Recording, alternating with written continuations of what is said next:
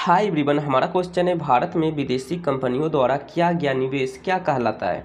Option number A है, विदेशी संस्थागत निवेशक। ऑप्शन नंबर बी है F P I option number C है, प्रत्यक्ष विदेशी निवेश। ऑप्शन नंबर डी है आर डी आई ओके तो हमारे इस क्वेश्चन का करेक्ट आंसर हो जाएगा। ऑप्शन नंबर सी प्रत्यक्ष प्रत्यक्ष विदेशी निवेश कहलाता है। ठीक है तो ऑप्शन नंबर सी हमारे इस क्वेश्चन का करेक्ट आंसर हो जाएगा। ठीक है, आज के लिए इतना वीडियो को लाइक करें, चैनल को सब्सक्राइब करें। So thank you